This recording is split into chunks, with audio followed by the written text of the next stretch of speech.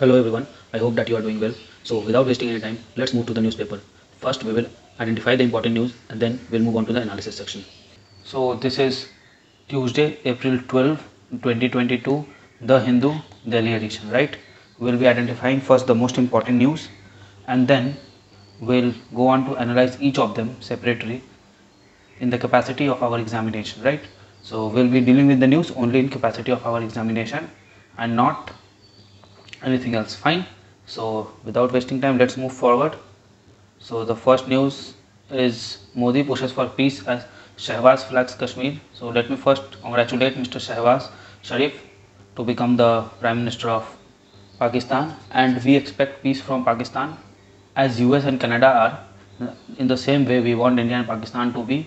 And uh, that's it from my side. And let's see what shehbaz has to say. Now our prime minister has pushed for peace and they have pushed for Kashmir as usual article 370 so they are again in the same lines. So this is not very important news. Yes they should have been a bit mature but what can be done? Ukraine dominates Modi Biden talk. Will give it a very a very brief read. It was expected thing. And there isn't any more news important on this page neither on this page. Okay. Uh-huh on this page let's see. Okay. Mm-hmm. okay nothing here as well.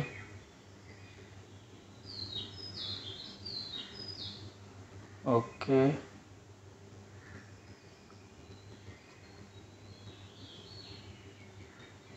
Okay this is an important news. Orissa Barbara Forest set for ecotourism push. Fine. Uh-huh. Uh, there is nothing much here.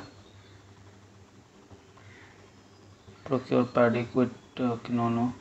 Microplastic in Kaveri may be harming fishes. Yes, this is important again. Okay. Nothing here. Nothing here. It's time to let sleeping dogma lie. Those attempting Hindi imposition must not note that language should be instrument of opportunity, not of oppression, not required. Clinging on Imran Khan showed himself as an autocrat by undermining democratic process, not required. In pandemic shock, critical lesson for MSME, very important. MSME itself is very important and these are the article we will be talking about critical lesson. I expect a lot from this article for my examination point of view, right? Weighing on choices opening of third dose for our 18 is a positive step. Yes yes. India uk crafting a new legacy. Despite the challenges india uk relationship has been on upward trajectory okay state of adolescent learning. ASER highlights the dismal picture of online education. We have to say this. Online education is a very hot topic now. We have to say this. Uh-huh. Text amending the weapon of mass destruction act yes we'll give a read to this gist and if necessary the entire article. Kannada mandatory for ug courses. Okay. Uh, we'll give a read to this gist how it is made mandatory and all those things right? The art and science of good is interview. Who is this alok ranjan? I don't know about him. At least tell tell me when he joined is okay he's an IAS of 1978 batch fine we'll give it a very brief read because interview is a hot topic not everyone is um, talking about it so maybe he is also there to give his viewpoints. That's good. At least people are coming forward to give us viewpoint. Okay. Mm -hmm. nine held in Gujarat. No not required. Not required. Mm -hmm okay. Engineers another held in Bihar bridge. This is a very funny incident that a bridge has been stolen in Bihar. Okay. The entire bridge and that too in, in bright daylight they have stolen the bridge. Ravi okay okay nothing here. Mm, let's see uh, if ideas that judges appoint judge is wrong says CJ okay we have to see this what is the exact idea behind this NITI puts out energy and climate index risk again very important. National doctor body rights to PM okay. Need to issue Aadhaar to those on final NRC list. Mm-hmm. Bengal nowadays is in every two or three days I find news of violence in Bengal. I don't understand why the law and order situation is so low in Bengal right now. Right? The government should do something for this. Reading for offensive in East. China says change in Pak leadership will not affect ties obviously because China is giving money and Pakistan is taking money so it won't it would have been opposite if there has been a change in Chinese uh, Chinese leadership then we have to see what happens campaign against Le Pen not required not required. Mm-hmm. 40% spectrum price cut. Not required at this time. Okay. Mm. okay. Is first defeat. Favorites against struggling CSK no not required no nothing big here. And on this page also I don't see many much news. So yes we are done with the identification section. Now let's go to the analysis section right? So Ukraine dominates Modi Biden talk right? Uh, yes this was expected that the on it could be on this only. Consultation with India to continue says US President. Yes you have to consult us. You don't have any choice.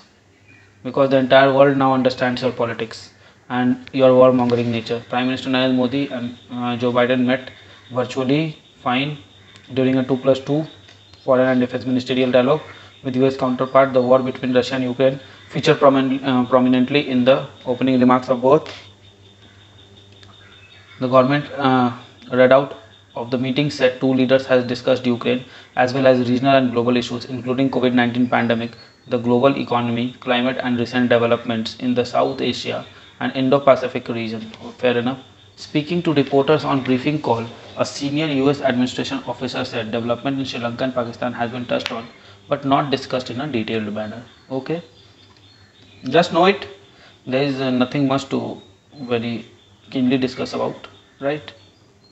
and as I said the same Pakistan will still sing the same song of Kashmir Kashmir and article 370 I don't understand when they will start to when the public will start to ask for industrialization for development for peace they are just talking only of one thing that is Kashmir. They don't want to be developed and due to them the entire subcontinent is unstable. Fine?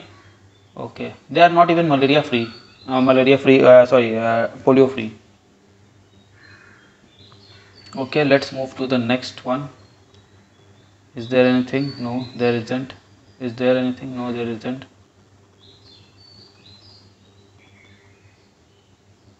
okay there was some news regarding Orissa yes here it is Orissa Barbara forest for set for ecotourism push let's let's give it a read Barbara forest is in Orissa this is the first point to remember from this one set for ecotourism push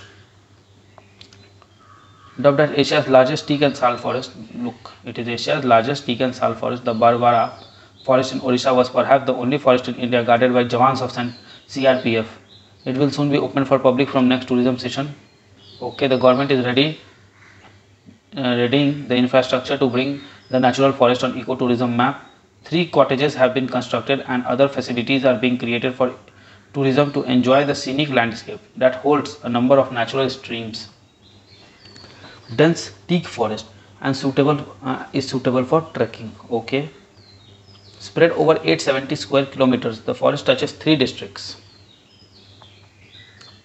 three districts and as per legend it is named after british officer's wife who was killed in a tiger attack in the area 100 odd years ago okay the dense teak forest about 150 kilometers from bhubaneswar led to a flourishing timber market in Bhubaneswar, Beharampur, Cuttack and Nayangarh, Nayagarh.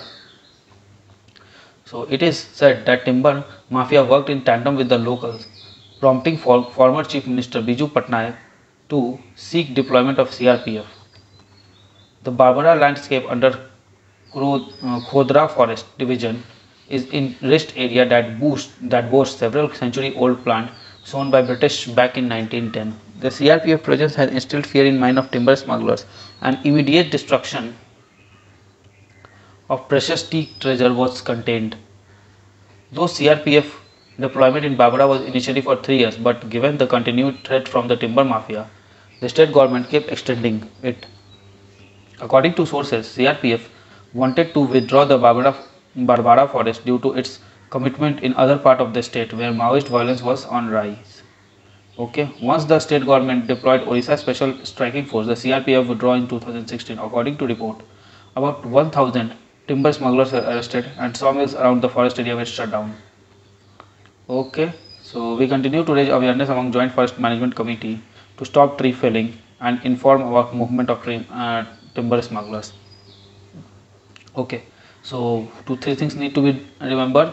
Barbara forest is Asia's largest teak and sal forest. Fine, it is in Odisha and touches three districts and it is good for trekking. So I request you all to go and trek there, right? If you are near to it or wait for some time and have it in your list of places to visit. Uh-huh. Okay, microplastic in Kaveri river may be harming fishes, says a IISc study. Uh-huh. So what is microplastic? Plastics of scale less than equals to 10 to the power minus 6 meters, right? They are often found in nanoscales going backward to Krishna Raja Sagar Dam and having fried fish on bank of Kaveri River. But in recent time, he has been noticing physical deformities. So physical deformities in some of the fishes and began to wonder whether it has something to do with the quality of water. So the new study reveals that pollutants like microplastic may be causing growth of defect in fishes, including skeletal deformities in Kaveri River. Water is essential for everyone, including animals and plants. When it is polluted, it is capable of causing disease, including cancer, said a PhD student of Professor Nongthomba lab. Okay, they conducted a comprehensive study of pollution in the KRS dam, Krishnaraja Sagar dam, and it is on Kaveri river, right? So this is a good thing. You must know this. Krishnaraja Sagar dam is on Kaveri river and its potential effect on fishes. They collected water samples from three different locations with varying speed of water flow fast flowing, slow flowing and stagnant. So they collected samples from these three. Since water speed is known to affect the concentration of pollutants. Why they have collected from three things, uh, three of them, uh, three different uh, speed of water because water speed is directly related to affect the concentration of pollutants. Okay. In the first part of the study, the team analyzed physical and chemical parameters of water samples. All but one parameters were within prescribed limits. The expectation and the exception was dissolved oxygen DO. Means what? If dissolved oxygen is not in the not in the expected limits, okay, it was much lower than needed to be the sample collected from. If it is much lower, then it indicates very high pollution. Okay, water from these sites has also microbes such as these one, Cyclops, Daphnia, Cyphrogi, yeah, uh, Cyphrogyra, Cyphrochaeta, E. coli, well known bioindicators of water contamination. Yes, this is correct. As we see uh, low uh, dissolved oxygen, it simply means that water is contaminated. There is no there is no uh, there is no second opinion about it. Because the oxygen in the um, water is being used by whom? Is being used by these these organisms only right? Using a technique called raman spectroscopy yes. The team detected microplastic minute uh, pieces of plastic of 10 often uh, divisible, uh, invisible to naked eyes okay? But spectroscopy reveals them. And toxic chemical containing the cyclohexyl functional group. Okay. Microplastics are found in several household and in industrial products and chemical containing the cyclohexyl group such as cyclohexyl isocyanate and commonly used in agriculture and pharmaceutical industry. So this one remember the name? Cyclohexyl isocyanate is used in pharmaceutical industries as well as agriculture right in the second part of the study they investigated whether pollution in water could account for development of abnormalities in wild fishes or not they treated embryos of well-known model organism zebrafish with water samples collected from three sites and found that those exposed to water from slow flowing and stagnant site experiences skeletal deformities, DNA damage, early cell death, heart damage, increased mortality. These defects were seen even after microbes were filtered out, suggest, suggesting that microplastics and cyclohexyl functional groups are responsible for ailment of the fish. So what does it suggest? It suggested that microplastics and cyclohexyl functional group are responsible for ailments in the fish. Okay. The researchers also found unstable molecules called ROS, reactive oxygen species, in the cell of the fish that developed abnormality. And whenever we find, we I have read it in I think two science uh, two weeks ago in a science page that ROS reactive oxygen species leads to what? It leads to abnormality in the cell. As millions of people are dependent on Kaveri river water and recent study from Netherlands has shown that microplastic can even uh, enter the bloodstream of humans. Yes, yes, yes, this is true. Uh, about two weeks only uh, in that same article in, for which I am talking about ROS. In the same article, it was also uh, shown that uh, microplastics is found in the blood of the human although it is not it was not very certain that it would go and get deposited in the tissues. But yes the probability cannot be ruled out. It may get settled there right? So uh, and we in this article we observed that a lot of microplastic and cyclohexyl uh, cyclohexyl iso uh, group is present in water. So it can lead to microplastic uh, entering our bloodstream and may lead to their deposition in our tissues and which may have what may have I think it uh, it will have to a larger extent carcinogenic effects right? The concentration we have reported may not be alarming yet for human but long term effects can't be ruled out. This is also the thing that long term effect cannot be ruled out for them. Okay so this is a very serious issue. This is a case study as well. Case study as well. Write it down in your copy for this case study. Fine. Okay now let's move to the next page and see if anything important can be identified uh, can be discussed. Okay nothing here. As usual we discuss the editorial at last. Okay and then we move on to this page text and context. Mm -hmm. so there was nothing on these pages. Let me see if I can yes there was two news on this page. Ideas that judges appoint judges is wrong okay says the Chief Justice of India. Let us give it a read. Government takes final call for president okay. So idea that judges appoint judge is wrong. Fine let's see. The impression that judge appoint judges in India is wrong. It is the government which finally appoints the judges in name of the president of India the head of our state okay. So who finally appoints the judges? The uh, the government in name of the president chief justice said. Chief justice was in conversation with us supreme court judge justice on uh, comparative approaches of supreme court of the world's largest and oldest democracy. There is the impression that in india judges appoint judges. It is a wrong impression. And i want to correct that. The appointment is done through a lengthy consultative process. Many stakeholders are consulted. The executive is one of the key stakeholders he explained that how once a proposal was made of a name as a high court judge the state government the high court and the governor concerned all take measure of the candidate. Yes this is correct. The center vets the name thoroughly before the file is sent to the supreme court. Then the top three judges of the supreme court would examine the proposal based on the inputs given by all the stakeholders. They very importantly take the opinion of the consultee judge a supreme court judge hailing from the state or earlier worked in the particular high court for which the name was proposed for Many people may not be aware of this. Only after taking into account a wide range of opinions from diverse sources, the collegium forms its opinion. Most of the time, it is unanimous opinion. I do not think a selection process can be more democratic than this. The Chief Justice of India said this. Okay, it is a viewpoint of Chief Justice, Chief Justice of India, and it is to a much extent correct also. Although the opacity in collegium is uh, one of the factor that has created such a uh, wrong impression, right? Okay. Now let's see the next thing. Niti puts out energy and climate index risk. Uh -huh. Gujarat has topped the list for largest state in Niti Aayog state energy and climate index around one that has ranked state and UTs on six parameters including DISCOM's performance energy efficiency and environmental sustainability. In six these three are there also the state has been categorized based on size and geographical uh, differences as larger and smaller states and UT. The index is based on 1920 data. Gujarat, Kerala and Punjab have ranked as top 3 performers in the category of larger state. Jharkhand, Madhya Pradesh and Chhattisgarh bottom 3. Goa emerged as top performer in smaller state followed by Tripura and Manipur. Among UTs, Chandigarh, Delhi and Daman Diu are at top performers. Punjab was the best performer in DISCOM performance while Kerala topped in access affordability and reliability category.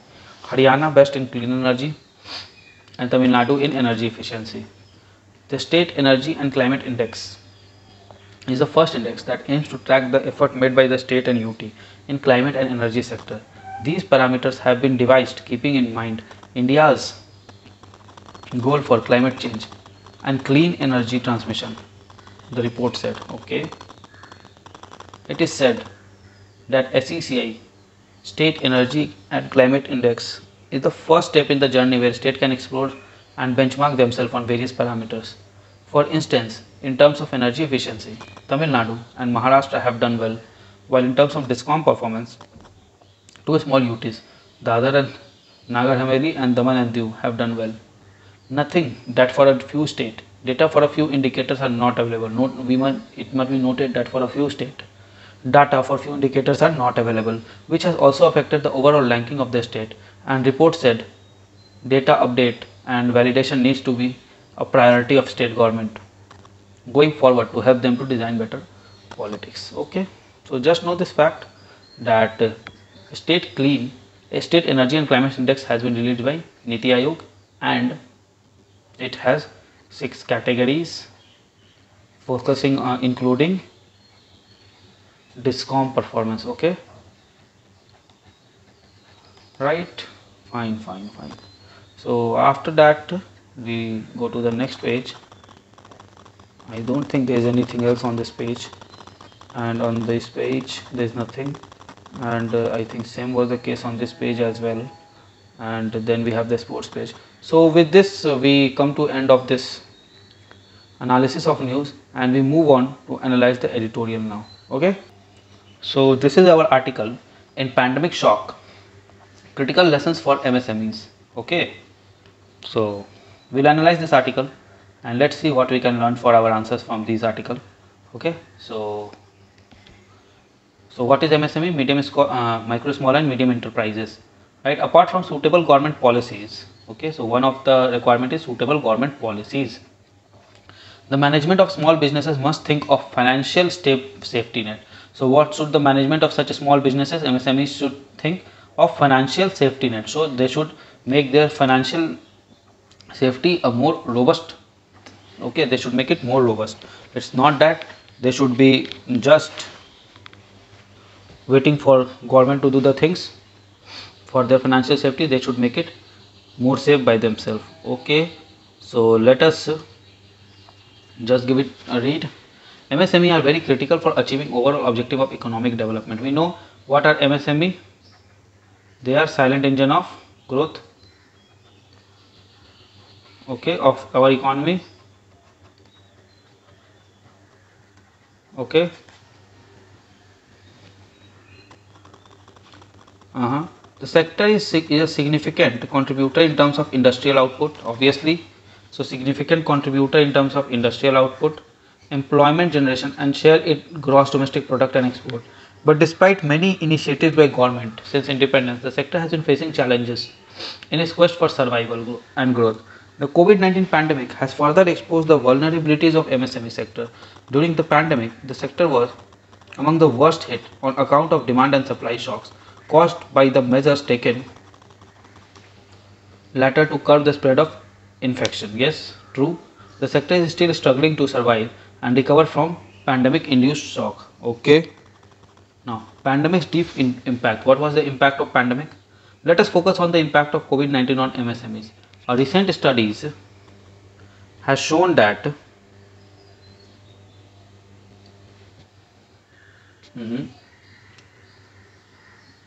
as a primary survey of 225 small firms located in ncr and uttarakhand observed that turnover of around 90% of small firms has declined in fiscal year 2020-21. Around 53% of firms faced more than 50% decline in their turnover. Around 29% of them reported a collapse of their business. 53% observed decreased demand in uh, decrease in demand while 36% faced erratic supply of raw material. So at every stage of this supply chain means 1, 2, 3, 4 let's say this is the raw material stage this stage is production this stage is marketing and this is actual sale.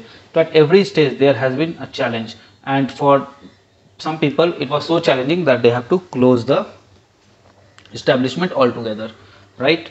The main reason for the fall in turnover included restrictions on economic activities and mobilities. Yes this was lockdown means decrease in demand because the net consumption income or the net income at hand of the public of the consumer got decreased or and whatever was left got diverted to medicine and hospitalization. Sources of raw material were short why? Because economic activities were stalled in that time.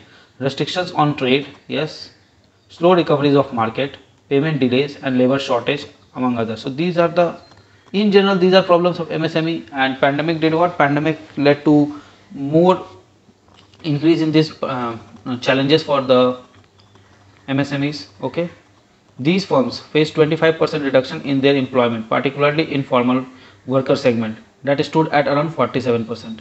Major challenges faced by the firm in the revival included delayed payment issues, reduced demand, lack of financial resources. So what were the major challenge faced by the firms? Again, delayed payment issue. Look, these are what? These are supply side constraint. Okay, supply side constraints. Now let me change the pen color for better visibility to red supply side constraints right? And now delay in payment issue reduced demand lack of financial resources supply chain disruption increased cost of production lack of skilled worker most importantly business uncertainty. These are what? Both institutional plus demand side challenges right? Okay. Although most of the firms were aware about initiative under Atmanirbhar Bharat package only half of them found it to be of any help. Given the lack of demand and business uncertainties, firms do not find it rational to avail financial assistance available under Atmanirbhar Bharat package. So this was one of the reason of why Atmanirbhar Bharat was not taken because of the viability of the business and uncertainty of the business. Look, in pandemic time, business would run or not. It was the main concern of the proprietor and in that case if he takes a loan or something and the business fails then how he'll be able to pay back the loan was a real issue. So any uh, they were um, for the time being they were dodging any kind of financial assistance right? A majority of firms suggested that government should ha have been more focused on creating revival of demand for products and services okay.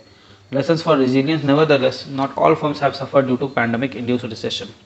Around 10% of the firm under the study has either a rise in their turnover or reported no change. The key sector that operated included human health activities, obviously manufacture of pharmaceuticals, medicinal, chemical and biobotanical product, food and beverage service activities, manufacture of apparel, etc. The owners of these firms also reported that they tried, uh, tried to quickly adapt to use the e-commerce platform and even switch to other business activities that had demand. That is production of mask sanitizer home delivery. So what happened Either they adapted to use the e-commerce platform and even switched to the other business activity that were beneficial or that had demand during those times. For example, production of masks, sanitizer, home delivery products, etc. They exploited the opportunity using their own savings to invest in the area that offered new opportunities. So investment came from the private saving and not from the government expenditure, right? This highlights that a firm resilience depends upon financial resources and ability to invest in new technology or business opportunities. So what does it indicate? This highlights that a firm resilience depends upon financial resources and ability to invest in new technologies or business opportunity. This is a very important concept to be and to understand that any firm will survive based on its own private investment and not on anything else. If they have the economy to survive, they will survive, else they will perish. The firms that suffered, unlike large firms, lacked financial planning for business uncertainties in order to overcome vulnerable shocks. Planning ahead COVID-19 is neither the first pandemic nor it is going to be the last. Even during the first two decades of the century, the world went through some other pandemics. Right? Apart from the pandemic, there were also factors such as sudden change in government policies, wars, natural and catastrophic uh, natural catastrophes such as flood and drought etc which cause businesses uncertainty so this not only pandemic but government policies wars natural calamities disasters also causes uncertainty in business especially for small business. Further the bulk of msme are in informal sector which lack registrations and necessary financial documents. So bulk of the msme are what? Thin file client right? They are what? Thin file client and hence they lack necessary financial document to avail such benefit. These firms are at great risk of shutting down after large scale disaster or economic shock. Therefore, there is a need to develop a mechanism for MSME which should help rescue them from shutting down or support the revival during business uncertainties caused by economic shocks, right? In order to make MSME sector resilient, we propose the provision of emergency fund for small businesses that should be made mandatory from the beginning. Okay, so he's talking. They are talking about some kind of emergency fund that could be used during such uh, uh, pandemics or such uh, wanting times, and that funds should be made mandatory by the government so that each and every of such funds, MSME, right, uh, enterprise will have it will have to uh, will have to compulsorily mandatorily keep it aside. It is just like a crr or a slr in banking system that helps it to shock uh, that helps it to absorb the shock of npas right okay but one thing the author is missing that most of the as he has mentioned that most of the msmes are what? They are unregistered. So mandatory provision i think would be not be easy to maintain because government can uh, have the data for only the registered one. And registered one say if keeps also then also the major section do not keeps it. So this is one of the problem and the solution what i propose is uh, financial inclusion. Okay there has to be a financial inclusion and then there has to be a registration campaign so that these can be registered and the ones who are not registered need to be deregistered uh, need to be declared illegal so that at least in threat of that also they get themselves registered and in that way they can avail the benefits right Similar to Public Provident Fund PPF, government can initiate what is called Uncertainty Corpus Fund for a small business.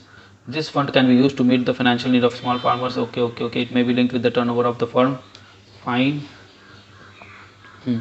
Although it would be a force saving, it would be useful for MSME. Although the author believes that yes, it would be forcing the MSME to, uh, it would be like forcing MSME to save such amount because they earn meager amount. And of that also they have to save something so that will be like forcing them to save. Uh, but still it would be useful for them only. Mm -hmm. another measure can be small business insurance scheme. Yes this is very important insurance sector penetration in india is uh, very meager very miserable and we need to increase the insurance because that would uh, in in reality lead to what? That will in reality lead to more inclusiveness in our society right? Okay there are lessons to be learned from the crop insurance scheme. There are more than 6.5 million msme in the country and there is a huge market potential for insurance sector. So there are about 6.5 million msmes and look what is the potential for insurance sector here if it is tapped properly. In order to encourage firms to invest in such large insurance scheme the government must pay an initial premium or fraction of the premium on behalf of such enterprises. Particularly micro enterprises and their own account enterprise right? So government should uh, handhold them in the beginning and show them the way and then they can go the way right? Gaps in the budget. Okay. The budget failed to bring any plan idea that makes msme sector more resilient. Yes this is true. Because we are in the amrit kal for next 25 years and we need to do something to get the amrit out of the sagar. Right. The proposed financial measures suggested above, namely as uncertainty corpus fund for small businesses and small businesses insurance scheme can help MSME become resilient and sustain their growth during business uncertainties caused by economic shocks. It could enable small farm firms to meet their working capital requirement, in particular retaining their workforce and investing in new technologies or new businesses opportunity to cope with uncertainties. In terms of planning, MSME can be on par with large firms. It would boost the confidence of small firms during normal business time and make them more competitive by giving them a sense of security in times of abnormal business cycle. It would be of great help to government of government in a time of crisis as government can focus on addressing demand issue which is one of the biggest challenge faced by economy during the shock okay? So this is a very good article. We got to understand many things about msme although most of the thing we already knew but yes it is a very good refresher course. And the things that they have uh, that they have uh, said uh, or they have proposed is very very good. Not unique but yes we we knew this is required. But yes i got the name at least the uncertainty corpus fund for small businesses and small business insurance scheme right? So these two ideas yes can be written in examination if you feel so. I feel that they are good to be written and it's up to you to write them and to implement them in your answers right? So with this we are done with this article. Now let's move to the next page. State of adolescent learning. Uh, ASER highlights the dismal picture of online education. Okay. Over the last few decades there has been a massive government drive to push for universal enrollment extending to secondary as well as primary school children successive annual status of education report have shown that this drive has been largely successful for both age group with higher enrollment rate even during the pandemic. Despite two years of COVID related school closure, the increase is in unenrolled 11 to 14 years old has been marginal, while the number of out of schools has actually fallen. Fine. So, ASER report says what? Despite two years of COVID related school closure, the increase in enrollment of 11 to 14 years has been marginal. Okay. So, people who under enrolled from 11 to 14 years has been marginal while number of schools out of schools in 15 to 16 years uh, people has been actually fallen for both boys and girls so it has fallen for both of them this indicates that school has been able to retain children beyond primary school this is remarkable because children are now enrolled beyond the age of compulsory education and enrollment rate shows almost no gender disparity. But the enrollment is only one of the piece of the puzzle. And yes the author is correct with respect to this. It is actually only one of the piece of the puzzle. The entire education puzzle comprises of many things including teacher to student ratio the infrastructure the availability of midday meal nutrition learning capabilities right? Many many things are there out of which enrollment ratio is one of them absence of formal learning although the efforts has been made by parents teacher and government learning at home through online education during pandemic has been far from successful for those children ASER 2020 and 2021 brought to light a dismal picture, uh, dismal picture of access to technology-based learning resources. Why? This is this is because of the phenomena of digital divide in India, right? People are not very tech friendly. Why? Because they don't have the accessibility of technology from uh, early ages, and due to lack of that knowledge, there is a digital divide in our country. Even though over 70% of children in class 9 to 12 has a smartphone at home. Only 35% of them can use it for studies at all times, while 17% of them could not use it at all. In absence of formal schooling, family members often assume the task of teaching. The ASER report shows how adolescents did not fare well. Older children receive less learning supports as compared to younger ones. Yes, obviously. Additionally, some children, so this can be written, older children receive less learning supports as compared to younger ones hmm, because the family member in absence of formal schooling the family member often assume the task of teaching right? Additionally some children especially older girls faced competitive demands due to financial stress and increased requirement of care work at home fine? So especially older girls what happened? Two things. Competitive demand due to financial stress and increased enrollment for care work at home. This is very important point even in 2017 ASER has reported that almost 90% of the female youth of 14 to 18 did housework on daily basis compared to three-fourths of the male youth. According to Build Back Better report by UNICEF, school closure exacerbated girls and women's unpaid care work. Okay, so closure of school led to what? Increase in the girls and women's unpaid care work, limiting their time available to learn at home. During COVID-19, girls might have had to replace the work done by missing caregiver or by or simply because of the gender expected gendered expectations okay ASER in 2021 hints the same. When asked if any girl in the household above 12 years of age has started helping out more with her uh, household chores since the lockdown, most almost two thirds of the respondent reported in an affirmative way. In all the age categories, girls were most likely than boys to be taking on additional burdens. Oh yes, this is correct. For example, about three quarters of 15 year old girls have started helping out more with chores uh, since lockdown. A figure which is 10 percent point higher than 15 year old boy. Gender disparity. Gender disparity at home may be may have been aggravated in the pandemic but it is not not new. ASER 2017 has found that 14 to 18 year old youth aspiration, aspirations were gendered, with most male mentioning army, police, and engineer, while female youth teacher, doctor, nurse as their occupation. This kind of work, the kind of work children did during lockdown, showed that they are exposed to general ex- gendered expectations from younger age. A study using ASER, a study using ASER, Indian Human Development Survey and National Family Health Survey data suggest that long before the pandemic, gender disparity has started spilling over into learning outcomes as well. So, okay, so long before pandemic, gender disparity has started spilling over to learning outcomes as well, and this has been phenomena since the advent of education itself. The study found that female dis- disadvantage persists in mathematics learning outcome over last decade and shows no sign of disappearing. The study correlates the finding with regressive household practices that limits the autonomy of women and finds that female disadvantage in mathematics learning is higher when where, where there is higher prevalence of such practice.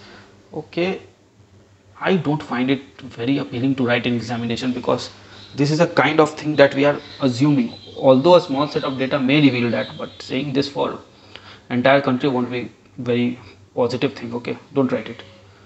Of all the points to an uh, all of these points to an eminent need to integrate gender sensitization okay gender sensitization modules into curricula for adolescence education okay school based gender sensitization program can play a transformative role in ensuring that all children get an equitable environment to grow okay? So the gender sensitization program should be what? It should be school based right? So that the the students from early age only are sensitized towards the other gender. Not only males are sensitized, sensitized towards female but the reverse is also done. So that what happens? So that a better and inclusive society is possible. For example an all attitude change program in haryana run by breakthrough and evaluated by abdul latif poverty action lab showed promising results with participants exhibiting general equitable behaviors even two years after the program ended it was centered around the interactive classroom discussions about gender equality and in, second, in secondary schools. Scaling up the programs for all schools and states could help bring about more gender progressive views among communities. With school reopening, a gender equitable environment for their growth should be prioritized, right? So we are in the phase of what? Reopening of schools. So a gender equitable environment should be on the top priority, right? The world begins as the world begins to recover from effects of pandemic this is an opportunity to rebuild better on which should be not be missed okay so this is the opportunity to uh, rebuild our educational infrastructure in a more better and inclusive way fine okay so let's move on to the next one let's see what else is left. Uh, so on this page uh, nothing is left. Let's move on to the next page. Amending the weapons of mass destruction act. What were the stipulations under the act earlier in 2005 why did an amendment, amendment became necessary? Let's see. On april 26 2022 weapons of mass destruction and their delivery system prohibition of unlawful activities amendment bill was passed by lok sabha. Okay the primary objective of the act was to provide an integrated and overarching legislation on prohibiting unlawful activities in relation to all three types of WMD the delivery system, and related materials, equipment and technologies, right? The amendment expands the scope to include prohibition of financing and of any activity related to WMD and their delivery system. Additionally, to prevent acts of terrorism that involve WMD or their delivery system, a network of national and international measures in which all nation states are equally invested is required. So what is saying what this uh, paragraph or, or this article wants to convey that okay we have this thing in line we have this amendment in line but that is not enough. The entire world the entire global citizenry should come together the entire world government should come together to curb these things right? Okay uh, what was the purpose of original WMD Act came in 2005 its primary objective was to provide an integrated and overarching legislation on pro prohibiting unlawful activities in relation to all three types of WMD, the delivery system and related materials, equipments, etc. It instituted penalties and all those things. Okay, the act was passed to meet the international obligation enforced by UN Security Council Resolution 1540 in 2004. Uh -huh. So anything else? Let me see. Why was this amendment necessary? Fine fine these things are okay. It was it became anachronistic so it was necessary now. What more should india do? Internationally it should be done. Uh, international cooperation and all those things. Okay. What is this? Could the amendment become troublesome for to people on account of mistaken identity? Let's read it. In the discussion on bill in parliament some members expressed concern on whether the new legislation could make existing business entities or people in the specific sector susceptible to case of mistaken identity. The external affairs minister however assured the house that such chances were minimal since identification of concerned individual would be based on long list of specific. Okay. Fine give it a read. Uh, the news is still in building phase. We'll see how it unfolds as the discussions goes on goes in Rajya Sabha and so on. And I think one more article will come on this. That would be more enriching in my opinion right? This is just a prelude to things that may happen on in the near future okay so let's see the next news or the next uh, explainer on making Kannada mandatory for UG courses. Can Kannada be prescribed as a mandatory language under National Education Policy 2020? How has the center reacted? Okay.